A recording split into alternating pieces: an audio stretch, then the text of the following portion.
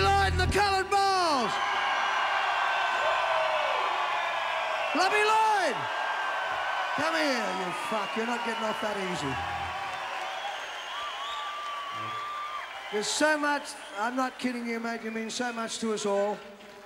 To everybody that's here, to everybody that you've known and you've known all your life, and all the people that have been privileged to play with you like me. Thanks all these bastards out here. You're all fantastic. Thank you for coming. It's good for my kids, good for, it's good for the Gazoga.